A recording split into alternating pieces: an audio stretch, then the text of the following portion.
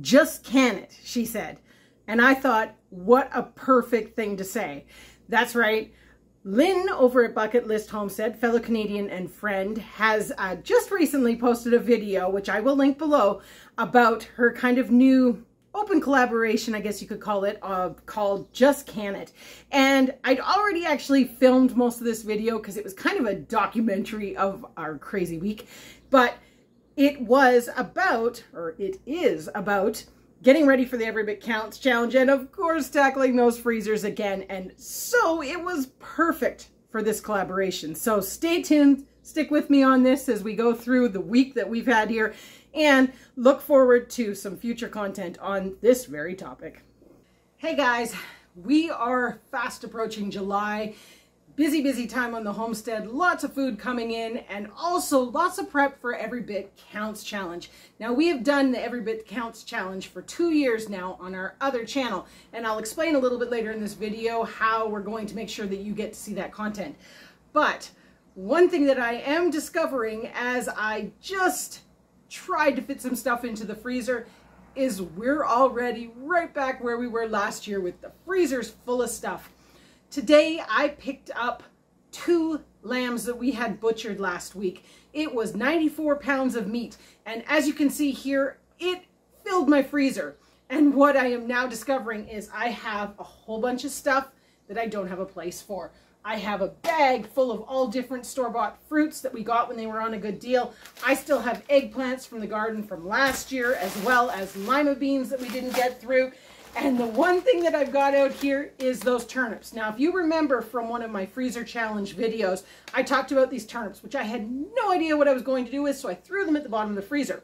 Well, now that meat is at the bottom of the freezer, sort of, it's crept almost all the way to fill the whole freezer, and I've taken these out because a viewer did recommend that I just dehydrate them and powder them, and then I can use them in soups and stews and things like that, and it'll just kind of eventually get used up. So we're going to give that a try. I'm going to get them frosted, unfrosted, defrosted.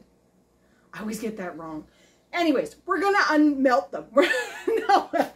Anyways, we're to melt them so that we can squeeze out any excess juice. And I'm to just put them in a dehydrator like that. I might chop them up a little bit in my food processor, but we're to get them so they can be powdered, which uh, will be interesting to see how we use that. But let's take a look at some of this other stuff that's in the freezer and we're going to get that out and we're going to start making some stuff this week because I've got to get space in the freezer. That is one thing that I do find is when the garden is producing, but not quite fully producing everything that I need to make a batch of something, I just bung it in the freezer. So the freezer space right now is crucial in order to preserve those harvests until I can get all the ingredients gathered out of the garden. So we're going to be making a few things. We have corn that I bought for Fiesta Corn Relish because we do not grow sweet corn.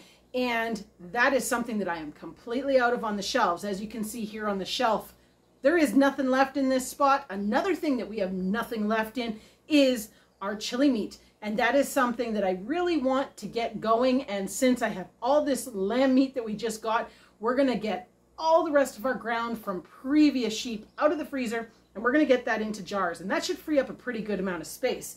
But we're also at the same time putting milk into the freezer from the sheep so that we can make some cheese later. I did make some feta. I'll just show you a little clip of it here.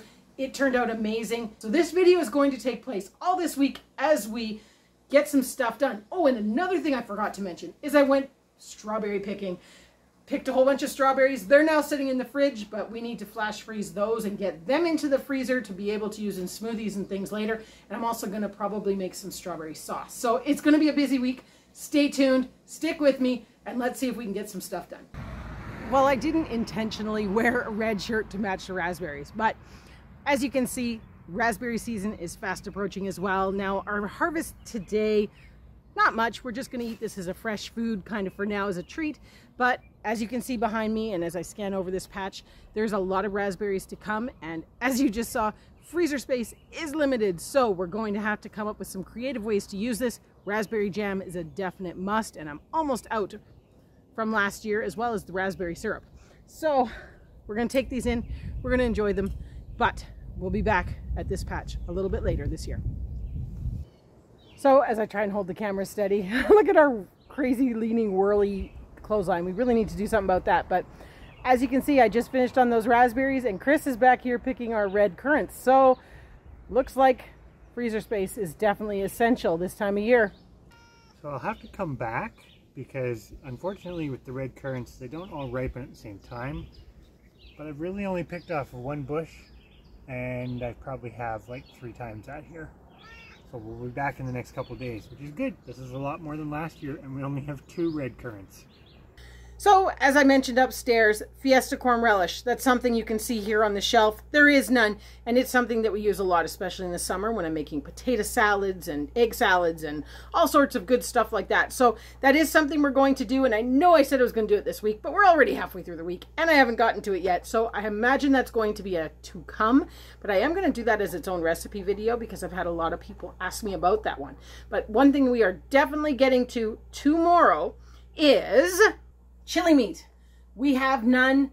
And as you saw, we just got a whole bunch of lamb meat and a lot of that was ground. So what we're going to do right now is we're going to get out all the old ground meat that is in the freezer down here. You've seen this freezer before and you're going to see it again. But we're going to be making up chili meat with everything that's left so that we can put all the fresh stuff down here in the milk crate that now houses the old meat. So as much as my cat loves hanging out on the freezer, I am going to kick her off because this is the freezer that houses our meat. Off you go. and you can see on top here, all that fruit that I couldn't fit in the freezer upstairs with all the new meat has gotten thrown in here. And this freezer is not supposed to have fruit at all. So I do want to get back on track with organizing these, but first we're going to get the meat out and get the new meat in. So here you can see we've got the uh, milk crate full of meat. I'm estimating we're probably going to have about 12 pounds, but we're going to see if we can get it out of here relatively easy. Ooh. And look at it, didn't all collapse. So it looks more like about 17 pounds, but luckily we are doing lamb burgers on Friday for a group of people. So I'm going to take out some meat from this to use in those as well, because I don't want to make 16 pounds of chili meat right now. All right, guys, it is time to kick it into gear on this video. Honestly, we're halfway through the week and I've really achieved nothing but you've seen the pittering and pattering that's been going on. It's actually quite funny because just as I sit here and start to hit play, I look at my shirt and go, did I wear this shirt already in this video? That's the kind of video this is. I don't really know exactly what I've achieved yet, but what we're doing today is we're going to use this meat that we took out. Many of you know this book here, Ball Canning Preserving, is my favorite canning book. I use this. It's a go-to for so many recipes. And today we're going to make the chili meat right out of this. So I will put the recipe down below, but just so you know, this is a book that I recommend to many people. You should have it. It's a great book. Now, the recipe calls for 10 pounds of meat. We're doubling the recipe because, of course, that's how I work. Now, not all packs are packed evenly. So I do have my scale out and we're going to uh, weigh them as we go and get 10 pounds in there. I may go up to the 15 pounds, but unfortunately I had to pre-measure my uh, chili powder because I am almost out in the pantry. It's crazy. So good thing there's a grocery haul coming up, so stay tuned for that. It is on the list with a whole bunch of stars beside it because that's something that's essential around here. So we're going to get the meat weighed. We're going to weigh out the 10 pounds and see what we've got left. I defrosted 12 pounds and I also had put three pounds in the fridge for Friday's dinner and I could raid that three pounds because it's only Wednesday and take out another three pounds later. So we'll see what this looks like when it gets in the pot. We may go up to tripling the batch because this is something that we use, especially in the summer. I can pull this out to make a taco salad. I can make chili. There's so many things that it's useful for. On nachos, it's amazing just to sprinkle on top of nachos in the summertime. So I might just pull out those extra packs and we will just up this. But we'll see as the video goes. But that's not the only thing we're trying to achieve today. We're also going to try to make our strawberry sauce. And we'll touch on that a bit later when I show you the strawberries that have been sitting in the fridge for a week now since I picked them at the U-Pick. I just haven't had time to get to them, so I'm really, really hoping they're not in too bad a shape. But let's get started on the meat because this is a pretty quick process. All right, so you can kind of hear it and see the steam coming. Our meat is starting to bubble away. Unfortunately, some of it was still frozen, so this is going to take a little bit longer than I'd anticipated to really get it browned right through. Now, one thing that I do is I don't add anything until it's done browning. And the reason for that is I scoop off all of the lard, the grease, that sort of thing, and put it into another container to cook down to then make nice clean lard for use in cooking and things like that throughout the rest of the year. Then we'll bring you back when we scoop off the uh, grease part and see how much we got. Usually, especially on a double batch like this, I'm going to get probably at least a full pint, if not more which is wonderful because it sustains us and keeps us from having to use oils and butters and things like that throughout the rest of the year. But otherwise, this is a very simple recipe, and when we get to adding the ingredients, I'm going to tell you the amounts for a single batch, not a double batch. I'm going to tell you how much for a single batch. All right, so I have everything all chopped up and ready to go for this, but we're still waiting on that meat to be browning. So I'm gonna have my quick discussion about the Every Bit Counts Challenge. I'm so looking forward to participating in it again this year. This year will be our third year participating. But on this channel right now, there is no past content. We participated in it previously as our original channel, Hickory Croft Farm, before we kind of branched out into different genres, I guess you'd call it. And uh, I don't want those of you that are new to the channel and haven't seen those before to miss out on that. So what my plan is in the next month, in the month of July, I'm going to put on the Every Bit Counts Challenge videos from 2022 and 2023 so that you're up to date on what we've achieved previously and what our goals are. And I'm actually going to have a little bit of fun with it and I'm going to sit down and watch them with you and kind of provide a little bit of commentary because it's really interesting. And the other thing I'm thinking it's going to help me with is going back and kind of making some notes on things I'd like to achieve for this year because you know sometimes you get forgetful you get all wrapped up in what's going on in the homestead and lose sight of what you're trying to achieve. Here on the homestead, our ultimate goal is to grow 75% of our food higher if we can. This year we did milk the sheep, which was fantastic. So for three months we haven't even bought dairy and we put a whole bunch of soft cheeses and fetas and things like that away. If you want any more information on that, you can follow on our other channel, Life Raising Sheep, which is linked below in the description. But also Hickory Croft Farm is linked below in the description if you want to see more on the gardens and that sort of thing. But I just wanted to kind of let you guys know that in the next coming weeks, we're going to be doing two videos a week that are the old Every Bit Counts Challenge, which is kind of fun just to follow along so that you can see where we've adapted and changed and what stuff is similar. Because as you go into your canning, I'm going to call it a career, you will find that you are repeatedly canning the same types of things, but there's different challenges. This year, my tomatoes are dudders there is nothing growing in the garden. So we're going to be well into September before I even have tomatoes. So it's going to be interesting to see what we can achieve in August and still do something every day. And I'm going to have to think out of the box because it's not going to be making ketchups and pasta sauces and all those sorts of salsas because I won't have the items I need for those. So I hope I can get creative and still come up with something to put away every single day. But until then, definitely watch along as we go through last year's and the year before's Every Bit Counts Challenge videos. But for now, we're going to get back and we're going to check our meat and hopefully it'll be ready to start uh, adding some of the seasonings after we remove that fat or lard layer.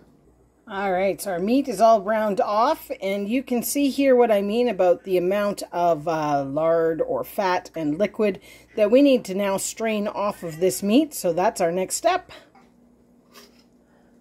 The one thing that I am, Ab, you're not starving. He thinks he's starving. So the one thing I am going to do is use my little funnel. It's not a funnel, it's a strainer. And we're going to just put that on top and kind of, that'll catch any of the meats that I pick up as I go. But we're going to get as much of this liquid out of here as we can because I will repurpose that and use it. So it won't be wasted.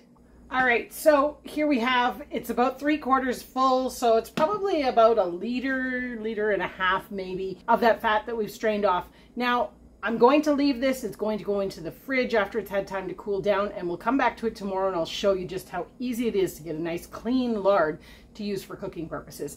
And the wonderful thing is this has no seasonings or anything in it, so it is just lard. All right, so now that we've done that, our meat is drained and nice and looking kind of dry, which I like to see.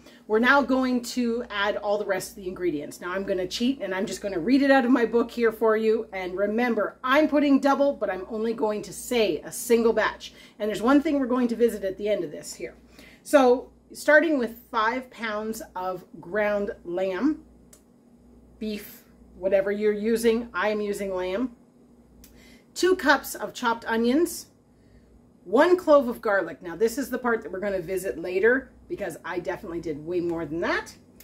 Six cups of diced canned tomatoes. Now this is where it's wonderful making this this time of year because I don't have tomatoes in the garden as we've just discussed, but I don't put that full amount in right off the bat because I don't want this to be runny because sometimes I use it for on nachos or things like that. So I don't want it too runny. So odds are I'm probably only going to put the four cups in there, not six, but stay tuned as we mix this up and we will have the final amount at the end.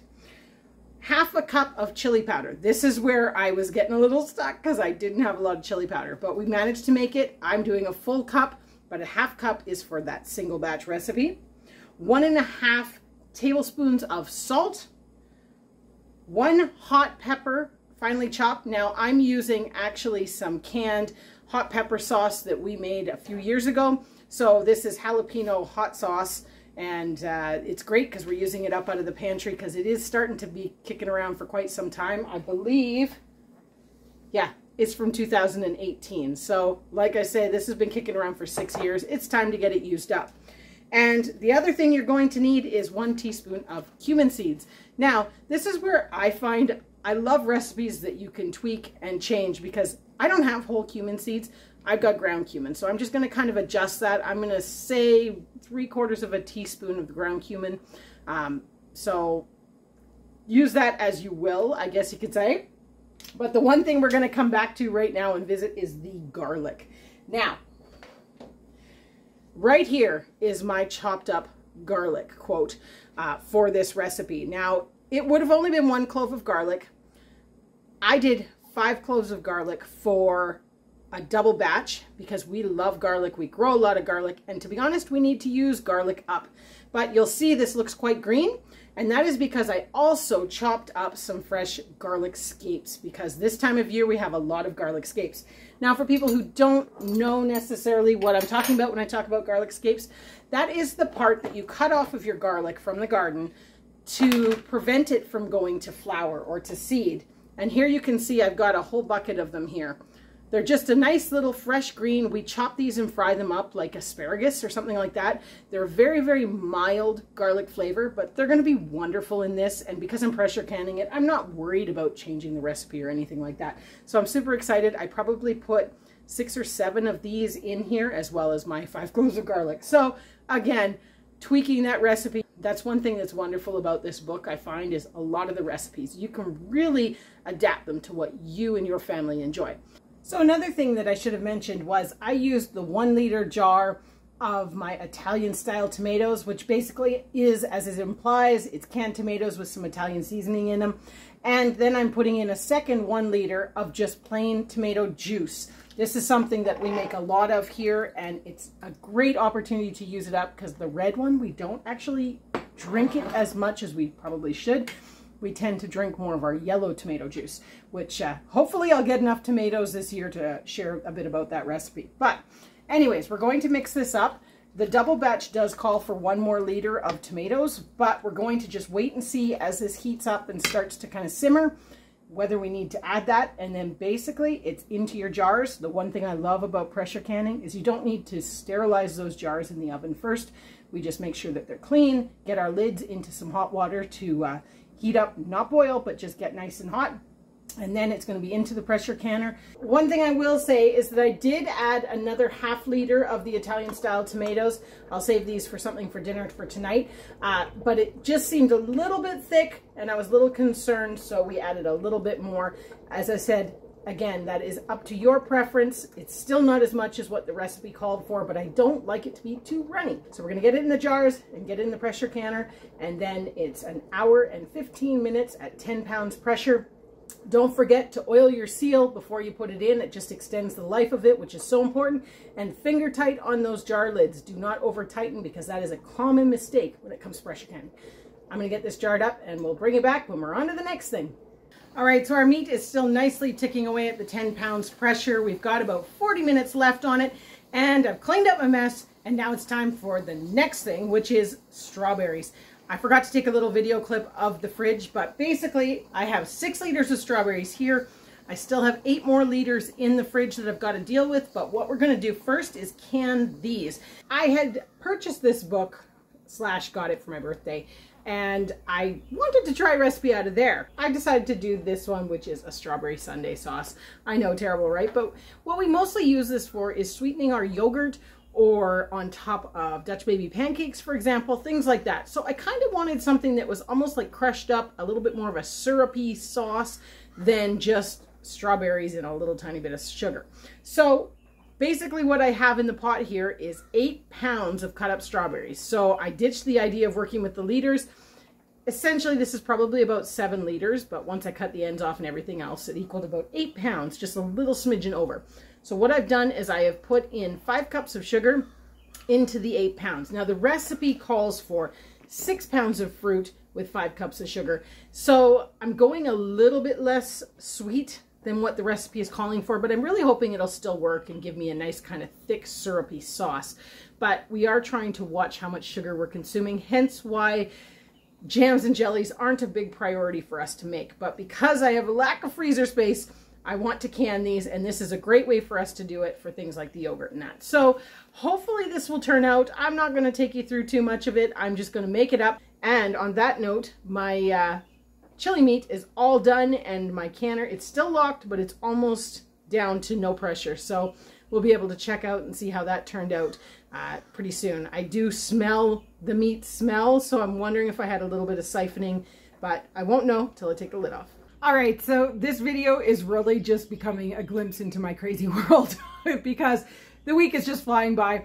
So we are the next day. Actually, we're in the afternoon already. It's kind of been a whirlwind of other things going on, but I still haven't made my jam and my syrup. So we are going to come back to that this evening. But one thing I did want to touch on was our canned meat went amazing. I ended up with 13 jars that sealed beautifully. I still have to take the rings off and get them cleaned up to go into the storage, but I did have one jar that didn't seal, so that's going to be supper tonight. I think we're going to make a taco salad.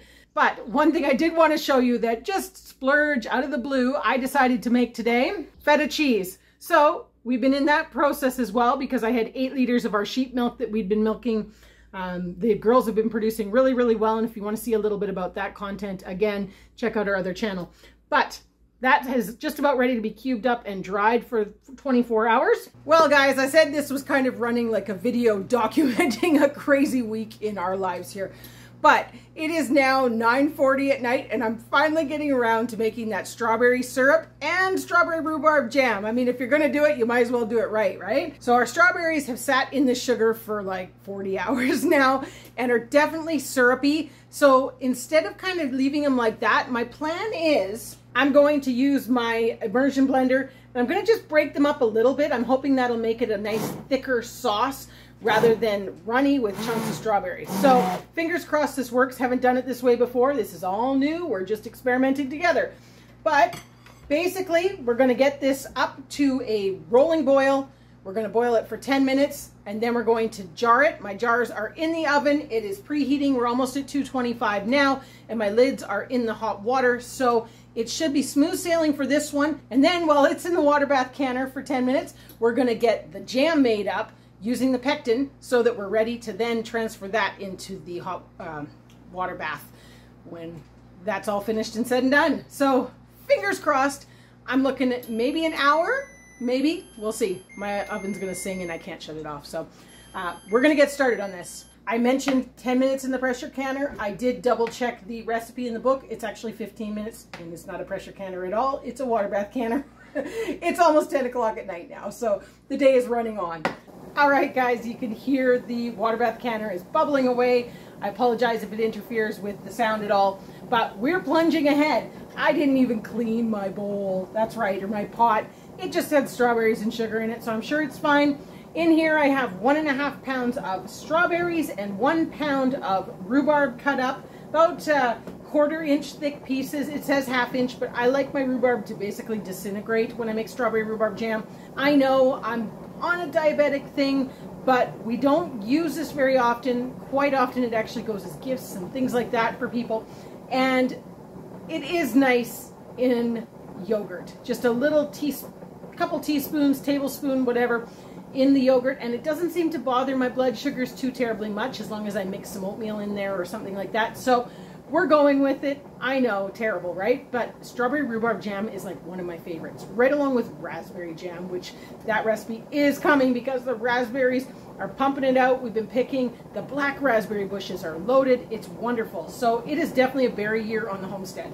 But we're going to get this jam done before it is already the next day because it's getting later. Basically what's going to happen is we're going to get this boiling, put in our, or get this heated up, put in our pectin, bring it to a boil, add our sugar, bring it to a boil again, and then jar. That's basically it. And then in the water bath canner for 10 minutes.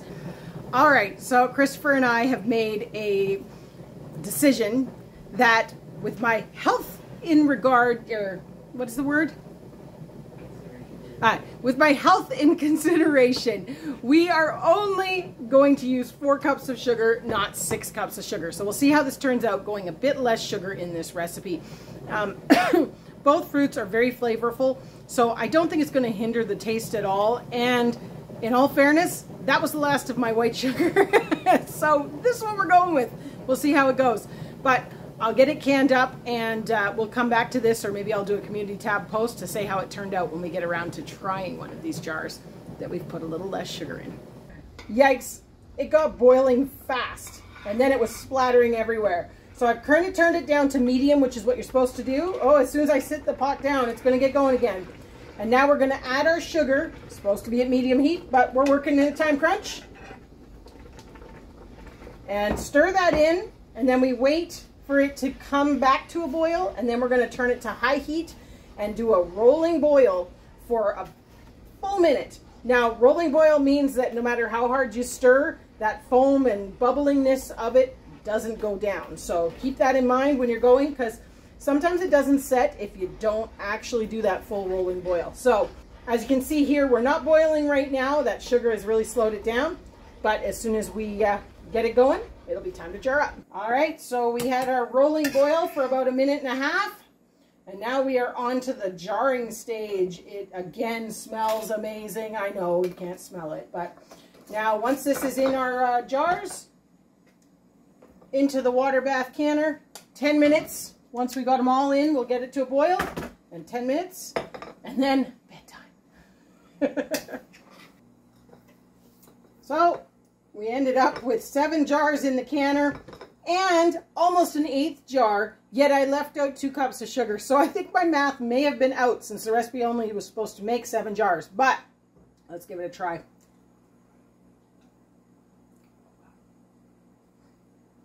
I was going to offer Chris some. I'm going to just eat it all. that is amazing and has so much flavor. I would probably make that recipe that way all the time. Not sure what I did differently that I ended up with so much, but I'll take it. Anyways, I'll come back in a moment with a wrap up for this video. But one thing I am making note of right now in this, this is the Canning Kitchen book, which we got from uh, Peavey Mart, used to be Tractor Supply here. And I'm going to actually write in here that I only used four cups of sugar because we absolutely love that the sugar hasn't overpowered the fruit flavor in this. So I think I'm going to stick with it as long as it sets. I'm happy with that. And uh, moving forward, that's going to be my go-to. So hopefully the syrup works as well because this book had both those recipes. And I wanted to try something new since I got the book for my birthday. But wrapping this up, as you can see, we're still in full swing here, even though the Every Bit Counts has not started yet. I'm really curious for this 2024 season for the Every Bit Counts, what we're actually going to have to put away because, like I mentioned, tomatoes are way, way behind. I don't think I'm going to have tomatoes until at least September. So we'll see how that goes. But stay tuned over the next couple weeks because, like I said, we're going to go through together the Every Bit Counts Challenge videos from 2022 and 2023 so that you guys are up to date on what we've achieved from then till now. And hopefully then that'll help you guys enjoy what we do this year just a little bit more. So stay tuned for those along with some other new content because everything is kind of flourishing on the fruit front. We were just talking. The black raspberries are coming in, the blueberries are starting, the red raspberries are starting, and the blackberry bushes are absolutely full outside. So Stay tuned for all that wonderful content that is going to be coming your way.